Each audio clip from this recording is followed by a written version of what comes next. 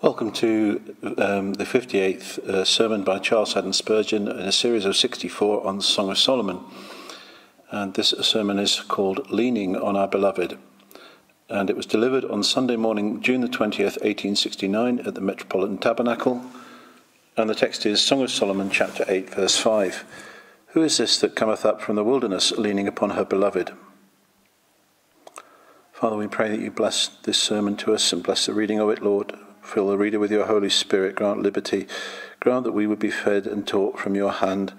Lift up and um, elevate in our eyes the Lord Jesus Christ and his glory and his salvation and his love and mercy and goodness towards us. And cause us to worship him and adore him, we pray, Father.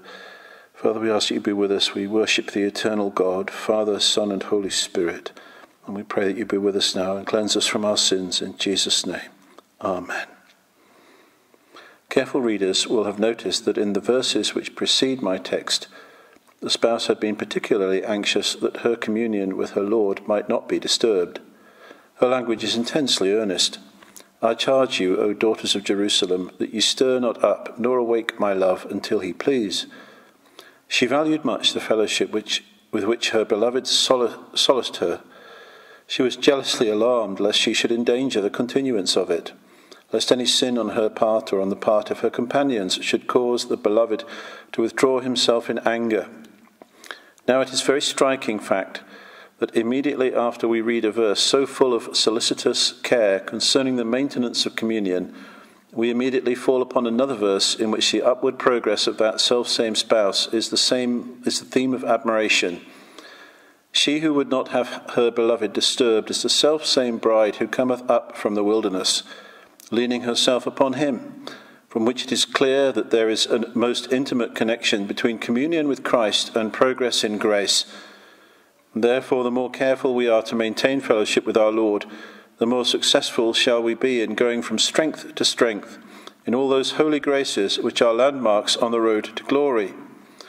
The wellhead and fountain of growth in grace is well sustained communion and manifest oneness with Christ we may strive after moral virtue if we will, but we shall be like those foolish children who pluck flowers and thrust them into their little gardens without roots. But if we strive after increasing faith in Jesus, we shall be as wise men who plant choice bulbs and living seeds, from which shall in due time uprise the golden cups, or the azure bells of lovely flowers, emblems of the things that are lovely and of good repute. To live near to Christ is the one thing needful. To keep up that nearness and never to suffer our fellowship to be interrupted should be our one great business here below.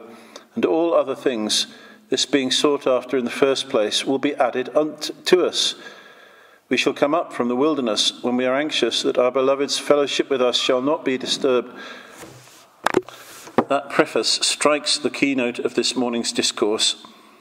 Our real theme, whatever may be the form of our meditation shall take, will be communion with Christ as the source of spiritual progress. We shall, without further prefatory remarks, come at once to the consideration of the text, and we shall notice the heavenly pilgrim and her dear companion. Who is this that cometh up from the wilderness, leaning upon her beloved? Every soul that journeys towards heaven has Christ for its associate. Jesus suffers no pilgrim to the New Jerusalem to travel unattended. He is with us in sympathy. He has trodden every step of the way before us. Whatever our temptations, he has been so tempted. Whatever our afflictions, he has been so afflicted. He is touched with the feeling of our infirmities, having been tempted in all points like as we are. Nor is Jesus near us in sympathy alone. He is with us to render practical assistance. When we least perceive him, he is often closest to us. When the howling tempest drowns his voice and the darkness of the night hides his person, still he is there, and we need not be afraid. It is no fiction, no dream, no piece of imagination that Christ is really with his people. Lo, I am with you always, even to the end of the world, is true of all his saints. And fear thou not, for I am with thee. Be not dismayed, for I am thy God, is no meaningless assertion, but to be understood as a certain verity read, read, typo, read a practical truth. Afraid that was a typo. In every step of this pilgrimage, from the wicket gate of repentance up to the pearly gate, which admits the perfect into paradise, Jesus Christ, in sympathy of heart and in actual presence of help, is very near to his people. Be this the pilgrim's encouragement this morning. Dear friends, who among us would not undertake a journey in such company? Who would not undertake a journey in such company? If we were here today and said, My child, I call you to go on pilgrimage, perhaps you would start back with dark forebodings of the way. But if he added, but I will be with thee whithersoever thou goest. We should each one reply, Through floods or flames, if thou dost lead, we will follow thee where thou goest. Lead the van, O crucified, and we will follow thee. Let us but see thy footprints in the road, and whether the path winds up the hill of difficulty or descends into the valley of humiliation. It shall be the best road that ever mortal footsteps trod, if it be but marked with the tokens of thy most blessed presence. Courage then, ye wayfarers, who traverse the vale of tears. You come up from the wilderness in dear company, for one like unto the Son of God is at your side. Note the title that is given to the companion of the spouse, her beloved. Indeed, he of whom the song here speaks is beloved above all others he was the beloved of his Father, or ever the earth was. He was declared to be the Lord's beloved in the waters of Jordan. and at other times, when out of the excellent glory there came the voice, This is my beloved Son, in whom I am well pleased. Beloved of his Father now, our Jesus sits forever glorious at God's right hand.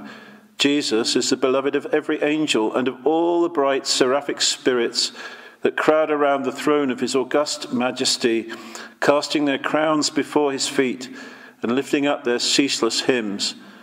They are not merely servants who obey because they must, but reverent admirers who serve because they love. He is the beloved of every being of pure heart and holy mind. The hosts triumphant, who have washed their robes and made them white in the blood of the Lamb, sing that word, beloved with an emphasis which our colder hearts as yet have failed to reach. But still is he beloved of the militant band this side the Jordan. Yes, Lord, with all that we have to confess of hardness and indifference, we do love thee, and thou knowest it. Would not our heart pour forth its blood in honour of thy name, and challenge the cold hand of death to quench the immortal flame? The adamant is softer than our hearts by nature and yet the love we bear thee, O divine Redeemer, stimulated by the love which thou hast manifested to us, has made our soul to melt in thy presence. Yes, we love thee and adore. Oh, for grace to love thee more. Note well that the sweetest word of the name is leaning on her beloved. That Jesus is beloved is most true, but is he my beloved? Ah, if this be true. There is a heaven wrapped up in it. Say thou who art listening to the word this morning, Is Jesus thy beloved? Dost thou love him? Canst thou put forth the finger of thy timid faith and touch the hem of his garment and receive the virtue which goeth out of him? Dost thou dare to say, He is all my salvation and all my desire? Other refuge have I none. My soul hangs in utter helplessness entirely upon him then is he thy beloved. And the more thou canst foster the well grounded belief that Jesus is thine, the more thou canst roll that truth under thy tongue as a sweet morsel, the happier and holier wilt thou be. Realize the fact that Jesus is as actually and truly as thine, thine as thy husband and thy wife, thy child, thy mother, or thine own self, then will peace and love reign within thy spirit. The spouse could not have leaned on Jesus as the beloved. She could only find rest in him as her beloved. Till you get a sense of his being yours, you do not dare to lean. but when you come to know that Christ is yours by an act of appropriating faith, then comes the after result of faith in the consecrated repose which the soul feels in the power and love of him on whom she relies. Thus, O pilgrim to the skies, thou art reminded that thou hast with thee a companion whose name to thee is my beloved. Pause thou a while and look about thee. Dost thou not see him? Canst thou not perceive the marks of his presence? Then rejoice that thou art found in such company, and take care to enjoy the honours and privileges which such, such society secures thee. 2. we now pass on to something deeper. We have said that the pilgrim has a dear companion, but that much of the blessedness of the text lies in her posture towards him. Who is this that cometh up from the wilderness, leaning upon her beloved? Her posture then is that of leaning. His relation to her is that of a divine supporter. What does this leaning mean? Why? First of all, there can be no leaning on another unless we believe in that other's presence and nearness. A man does not lean on a staff which is not in his hand, nor on a friend whose presence he is not aware, of whose presence he is not aware. The instincts which lead us to preserve our uprightness would not permit us to lean on a shadow or on a nothing. it behoves thee, then, Christian, if thou wouldst be like this wondrous woman in the text to seek to be conscious of the presence of Christ. It is true, thy senses cannot perceive him, but thy senses are less to be relied upon than by faith than thy faith, for senses may be mistaken, but the faith of God's elect errs not. God makes that which faith depends upon to be more real than anything which the senses can perceive. Christ Jesus is with thee, though thou hearest not his voice and seest not his face, he is with thee. Try to grasp that truth and to realize it clearly, for thou wilt never lean until thou dost. Leaning also implies nearness. We cannot lean on that which is far off and unapproachable. Now it is a delightful help to us in believing repose if we can understand that Christ is not only with us, but to an intense degree near us. I love that hymn we sang just now concerning our Lord's coming nigh to us making his name a common word among us. The Christ of a great many professors is only fit to occupy a niche on the church wall as a dead, inactive, but revered person. Jesus is not a real Christ to many. He is not a Christ who can really befriend them in the hour of grief, not a brother born for adversity, not a condescending companion. But the Christ of the well taught Christian is one that liveth and was dead and is alive forevermore, the sympathizing, practical friend who is actually near, entering into our sorrows, sharing in our crosses, and taking a part with us in all the battle of life. Come, child of God, see that it be thus with thee. Realize Christ first, and then believe that he is nearer to thee than friend or kinsman can be, for he pours his counsels right into thy heart, being so near that at times, when thy secret trouble cannot be shared by any mortal, it is shared by him, so near that when thy heart's inmost recesses must necessarily be locked up to all other sympathy, those recesses are all open to his tenderness, so near to thee that thou livest in him, and he abides in thee, and thou abidest in him. A sacred unity exists between thee and him, so that thou dost drink of his cup and art baptized with his baptism and in all thy sorrows and thine afflictions, he himself doth take his share. These two things being attended unto, leaning now becomes easy. To lean implies the throwing of one's weight from oneself onto another, and this is the Christian's life. The first act that made him a Christian at all was when the whole weight of his sin was laid on Christ, when by faith the sinner ceased to carry his own burden but laid that burden on the great substitute's shoulder. It was that leaning which made him a Christian. In proportion as he lean, learns this lesson of casting all his burden upon his Lord, he will be more and more a Christian. And when he shall have completely unloaded himself and cast all his matters upon his God, and shall live in the power and strength of God, and not in his own, then shall he have attained to the fullness of the stature of a perfect man in Christ Jesus. To lean, I say, is to throw your weight off from yourself onto another, being fatigued, to, to make another fatigued if he can be, being wearied to make another take your weariness, and so yourself to proceed with your load transferred to a substitute.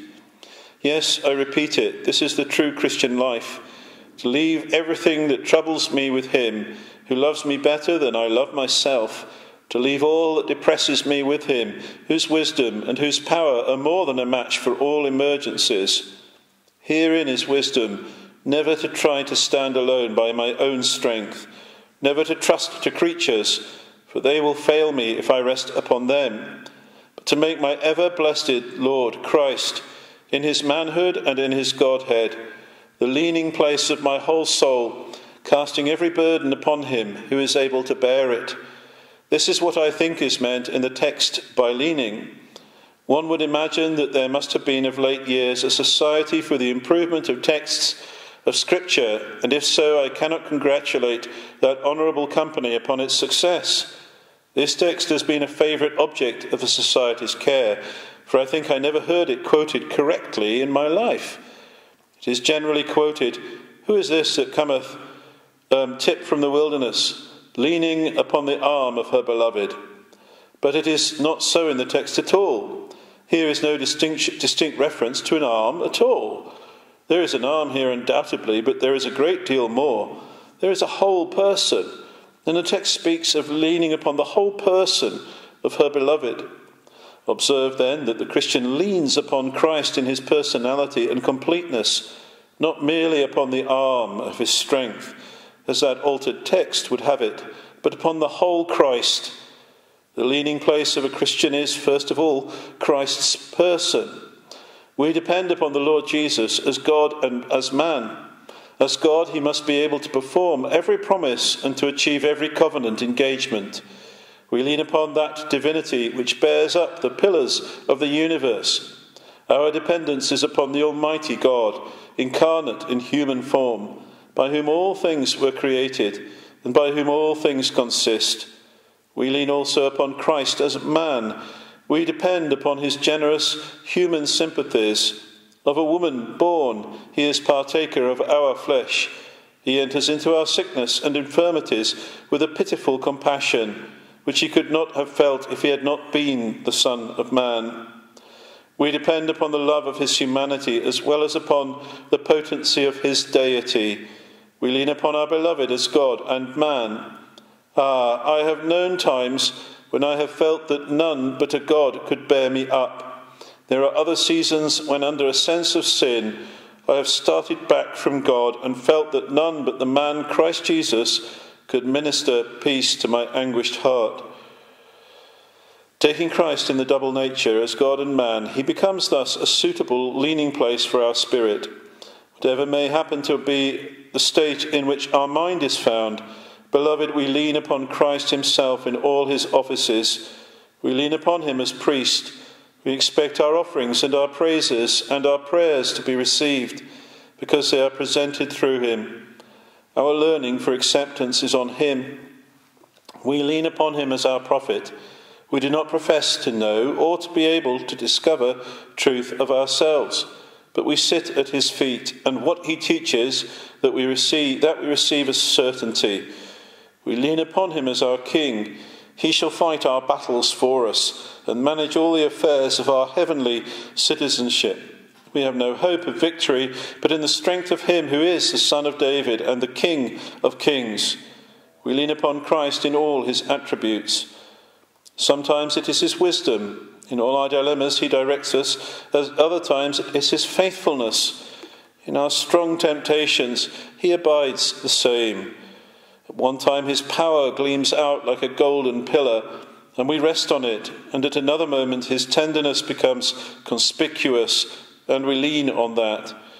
There is not a trait of his character, there is not a mark of his person, whether human or divine, but what we feel it safe to lean upon, because he is, as a whole Christ, perfection's own self, lovely and excellent beyond all description. We lean our entire weight upon him, not on his arm, not on any part of his person, but upon himself do we depend. Beloved, there is no part of the pilgrimage of a saint in which he can afford to walk in any other way but in the way of learning. He cometh up at the first, and he cometh up at the last, still leaning, still leaning upon Christ Jesus. Aye, and the leaning more and more heavily upon Christ the older he grows. The stronger the believer becomes, the more conscious he is of his personal weakness. Therefore, the more fully does he cast himself upon his Lord and lean with greater force on him. Beloved, it is a blessed thing to keep to this posture in all we do. Oh, it is a good preaching when you lean on the beloved as you preach and feel. He will help me. He will give me thoughts and words. He will bless the message. He will fill the hungry with good things and make the Sabbath to be a delight to his people. Oh, it is blessed praying when you can lean on the beloved. You feel then that you cannot be denied. You have come into the king's court and brought your advocate with you, and you lay your prayer at the foot of the throne, the prince himself putting his own sign, manual, and seal and stamp of love upon your desires. This is the sweet way to endure and suffer with content. Who would not suffer when Jesus makes the bed of our sickness and stays us up and gives us tokens of his love? This is the divine method of working. Believe me, no sacred work can long be continued with energy except in this spirit, for flesh flags, and even the spirit languishes except there be the constant leaning upon the beloved. As for you, men of business, with you with your families and with your shops and with your fields and your enterprises, with your families and with your shops and with your fields and your enterprises, you will find it poor living unless you evermore lean on your beloved in all things. If you can bring your daily cares, your domestic troubles, your family sicknesses, your personal infirmities, your losses and your crosses, if you can bring all things to Jesus, it will be easy and happy living. Even the furnace itself, when the coals glow most, is cool and comfortable as a royal chamber spread for banqueting with the king when the soul reclines on the bosom of divine love. O ye saints, strive after more of this. We are such lovers of caring for ourselves. We so want to set up on our own account. We pine to run alone while our legs are too weak. We aspire to stand alone when the only result can be a fall. Oh, to give up this wilfulness which is our weakness, and like a babe to lie in the mother's bosom, conscious that our strength is not in ourselves, but in that dear bosom which upbears us. I would fain encourage the heir of heaven who is in trouble to lean. I can encourage you from experience. The Lord has laid on me many burdens in connection with much serving in his church, and I sometimes grow very weary but whenever I bring myself, or rather the Holy Spirit brings me to this pass, that I am clear that I cannot do anything of myself and do not mean to try, but will just be God's obedient servant and ready instrument, and will leave every care with Him, then it is that peace returns. Thought becomes free and vigorous, and the soul once more, having cast aside its burden, runs without weariness and walks without fainting. I'm sure, my dear fellow servants, life will break you down. This London life, especially unless you learn the habit of leaning on Jesus. Be not afraid to lean too much. There was never yet a saint blamed for possessing too much faith. There was never such a thing known as a child of God who was scolded by the Divine Father for having placed too implicit reliance upon his promise. The Lord has said, As thy day thy strength shall be. He has promised, I will never leave thee nor forsake thee. He has told you that the birds of the air neither sow nor reap nor gather into barns, and yet are fed. He has assured you that the lilies of the field toil not, neither do they spin, and yet your heavenly Father makes them more beautiful than Solomon in all his glory. Why do you not cast your care on him who cares for ravens and for flowers of the field? Why are you not assured that he will also care for you thus much upon the leaning? Who is this that cometh up from the wilderness, leaning upon her beloved? 3. Our third point shall be her reasons for thus leaning. She was a pilgrim and she leaned on her beloved. Was she justified in such leaning? For every confidence is not wise, for every confidence is not wise. There be refuges of lies and helpers of no value. Ahithophels are a numerous race. He that eateth, eateth bread with us doth lift up his heel against us. Friends who seem to be strong and faithful turn out to be as broken reeds or as a sharp spears to pierce us to our hurt. Did she well then in leaning on her beloved? What were her reasons? She did well, and her reasons were some of them as follows. She leaned on her beloved because she was weak. Strength will not lean. Conscious strength scorns dependence. My soul, dost thou know anything of thy weakness? It is a sorrowful lesson to learn, but oh, it is a blessed and profitable lesson which not only must be learned, but which it were well for thee to pray to learn more and more, for there is no leaning upon Christ except in proportion as you feel you must. I do believe that as long as we have a grain of self sufficiency, we never trust in the all sufficient. While there is anything of self left, we prefer to feed on it, and only when at last the mouldy bread becomes too sour for eating, and even the husks that the swine do eat are such as cannot fill our belly, it is only then that we humbly ask for the bread of heaven to satisfy us. My soul, learn to hate every thought of self sufficiency. Brethren, do you not find yourselves tempted at times, especially if you have had a happy week and have been free from trials, to think, now really I am better than the great many. I think I am now growing to be an old, experienced saint. I have now escaped the power of ordinary temptations and have become so advanced in grace that there is no likelihood of my sinning in those directions wherein new converts show their weakness. There is your weak point, brother. Set a double guard where you think you are strongest, just when you are most afraid, and say to yourself, Oh, that I might be kept from such a sin. I know that is my besetment, and I am afraid I shall be led into it. You are less likely to sin there than anywhere your weakness is your strength. Your strength is your weakness. Be nothing, for only so can you be anything but poor in spirit, for only so can you be rich towards God. The spouse leaned because she was weak. Brother, sister, is not this good argument for thee, for me? Are not we also weak?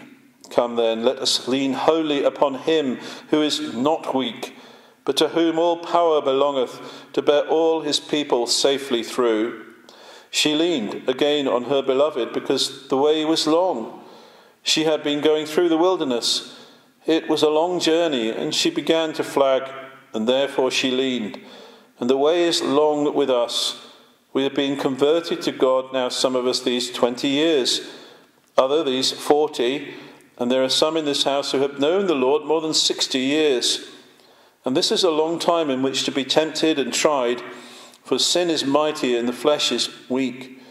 If one good spurt would win the race, the most of us would strain every nerve, but to tug on at the weary year after year, when the novelty has gone, and when there comes besides another sort of novelty, fresh temptations, new allurements, which we knew not of before.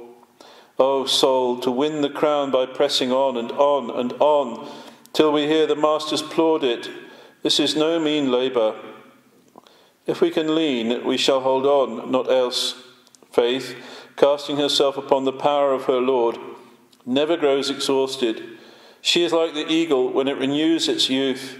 She drinks from the fountainhead of all vitality, and her lost vigour comes back to her such a soul would be strong evermore, though she had to live the life of a Methuselah.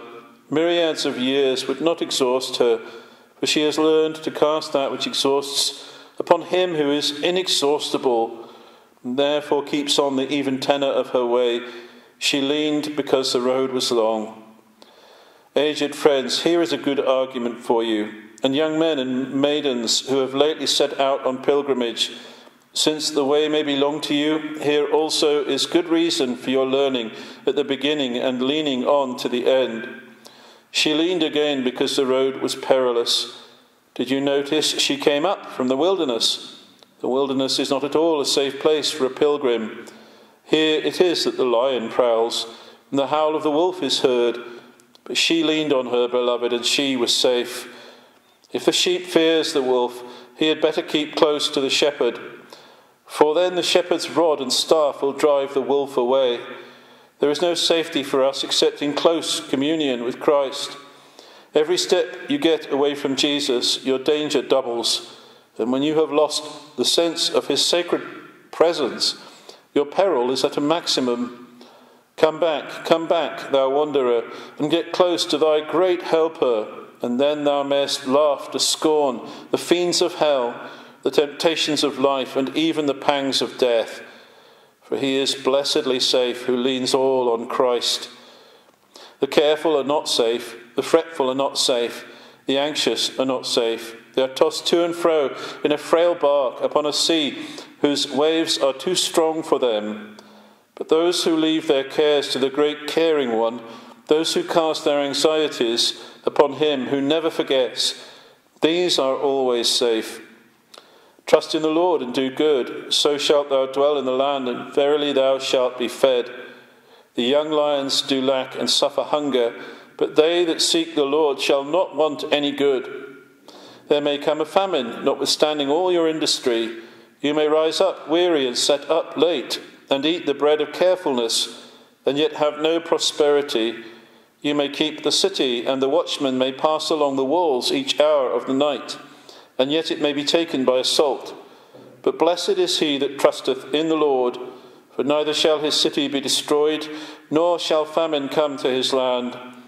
Or if so it be, in famine he shall be fed, and in the days of peril the angels shall keep watch and ward about him. Lean then upon the beloved, because the way is perilous. This is good reasoning for us all. For we are in danger, tempted on all sides, liable to sin for a thousand causes. O oh, my brethren, in this age of temptation, lean on the beloved. It is your only safety. Again, she leaned on the beloved because her route was ascending. Did you notice it? Coming up. The Christian's way is up, never content with past attainments, but up, not satisfied with graces to which he has reached, but up. He is not good who does not desire to be better. He is not gracious who would not be more gracious. Thou knowest not the light if thou dost not desire more light. The heavenly way is upward, upward, upward, upward. This is the way to heaven. The tendency of man's nature is downward. How soon we descend, and how prone is our soul from her most elevated condition to sink back into the dull, dead level of her natural estate. If we are to go up, we must learn, lean. Christ is higher than we are. If we lean, we shall rise the more readily to his elevation. He comes down to us that we, leaning upon him, may go up to him. The more we lean, the more truly we cast the weight of our spiritual wrestling, spiritual struggling, spiritual growth upon Him. The more surely shall we gain the wrestling, the struggling, and the growth. Depend as much for growth in grace upon Christ as for the pardon of sin. He is made of God unto you sanctification as well as redemption. Look for sanctification through the blood, for it is a purifier as well as a pardoner. The same blood which puts away the guilt of sin is by the Holy Ghost applied as a blood of sprinkling to put away from us the reigning power of sin. Oh, that we knew more about this, this going up. But I am afraid we do not go up because we do not lean. If there be here thin morning, this morning, a, a poor child of God who cries, I, the chief of sinners, am and my only hope is in my blessed Lord. I do not feel that I grow in the least. I sometimes think I get worse and worse, but one thing I do know I trust Him more than ever I did and feel my need of Him more. Dear heart, you are the very one who is going up. I know you are, for you are leaning. But if there be another who boasts, I believe I have made distinct advances in the divine life, and I feel that I am growing strong and vigorous, and I believe that one of these days I shall have reached to perfection. I think it is very likely that this brother is going down. At any rate, I would recommend to him this prayer Hold thou me up, and I shall be safe. And this caution Let him that thinketh he standeth take heed lest he fall. Yet I must detain you another moment to observe that the spouse leaned on her beloved, because her walk was daily separating her more and more from the whole host of her other companions. The church is in the wilderness, but this traveller was coming up from the wilderness. She was getting away from the band marching through the desert, getting more and more alone. It is so, and you will find it so the nearer you get to Christ, the more lonely you must necessarily be in certain respects. The sinner is in the broad way where thousands walk. The Christian is in the narrow way. There are fewer in this last. But if the believer keeps the centre of the narrow way, and if he presses on with vigour, he will find his companions to be fewer and fewer. I mean the companions of his own stature, those of his own size and his own attainments. And if he continues in rapid advancements, he will at last get to such a position that he will see no man save Jesus only, and then he will be sure to lean more heavily than ever, since he will have discovered that all men are vanity, and all confidence in an arm of flesh are but lies and deceit. The spouse leaned upon her beloved because she felt sure that he was strong enough to bear her weight. He upon whom she leaned was no other than God over all, blessed forever, who cannot fail nor be discouraged. She leaned yet again because he was her beloved. She would have felt it unwise to lean if he were not mighty. She would have been afraid to lean if he had not been dear to her. So it is the more you love, the more you trust, and the more you trust, the more you love. These twin graces of faith and hope live and flourish together in proportion as that dear crucified Saviour reigns in your soul and his beauties ravish your heart, in that proportion you feel that all is safe because it is in his hands. And then, on the other hand, in proportion as you trust all to him and have not a suspicion or a doubt, in that proportion of your soul will be knit to him in affection. I appeal to any here who are the servants of Christ but have fallen out of the habit of leaning, whether it would be not well with, to return to it. Was, it. was not it better with you when you did lean than it is now? Before you set up for yourselves, were you not happier and better than now? Before you let that wicked pride of yours get the upper hand, you were wont to take every daily trouble and burden to your Lord, but at last you thought you were wise enough to manage for yourselves I ask you, have you not from that very day met with many sorrows and defeats and downcastings?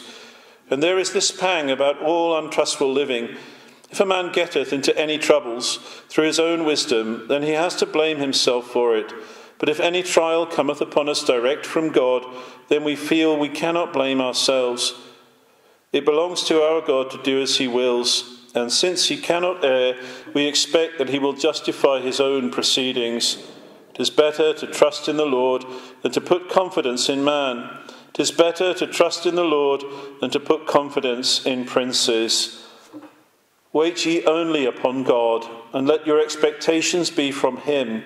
And he shall bring forth your judgment as the light, and your righteousness as the noonday.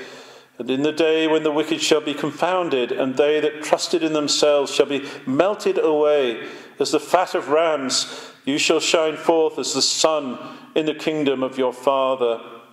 4. And now let us close. The last point is this the person and the pedigree of her who leaned upon her beloved. The text says, Who is this? What made them inquire? Who is this? It was because they were so astonished to see her, looking so happy and so little wearied. Nothing amazes worldlings more than genuine Christian joy. Holy peace in disturbing times is a puzzle to the ungodly. When they hear the righteous sing, God is our refuge and strength, a very present help in trouble. Therefore will not we fear, though the earth be removed, and though the mountains be carried into the midst of the sea. They say one to another, Where did these men learn that tune? They are, like, they are men of like passions with ourselves. How is it they have learned thus to bear trial? Therefore they inquire, Who is this? Who is this? You find, yea, fine thing it would be if we all so leaned upon Christ in all respects as to enjoy unbroken serenity, so that our kinsfolk and neighbours who should be led to inquire, Who is this? For them, then might we have an opportunity of telling them concerning our well beloved, who is the stay of our peace and the source of our comfort. Who then is this that leans on her beloved? I will tell you. Her name was once called Outcast, whom no man seeketh after. But according to this old book, her name is now Hephzibah, for the Lord delighteth in her. The name of the soul that trusts in God and finds peace in so doing was by nature a name of shame and sin. We were afar off from God, even as others, and if any soul is brought to trust in Christ, it is not from any natural goodness in it or any innate propensity towards such trusting. It is because grace has wrought a wondrous transformation, and the Holy Ghost has made those who were not a people to be called the people of God. Good news this for any of you who feel your guilt this morning. You have been hitherto serving Satan, but mercy can yet bring you to lean upon the beloved. Grace can bring you up from the wilderness instead of permitting you to go down into the pit. She who today joyously trusts in her God was once a weeping Hannah, a woman of a sorrowful spirit, but now her soul rejoiceth in the Lord, for he hath remembered her low estate. She was once a sinful Rahab, dwelling in a city doomed to destruction. But she has hung the scarlet line of faith in the precious blood in her window. And if all others perish, she shall be secure in the day of destruction. She who is here spoken of is a Ruth. She came from afar as an idolatress. She left the land of her nativity, and she hath entered into union with the Lord and his people. Her cry is, Where thou dwellest, I will dwell. Thy people shall be my people, thy God shall be my God. She was once a stranger, but she is now an Israelite indeed. She was once accursed, but she is now blessed. Once foul, but now washed. Once lost, but now found again.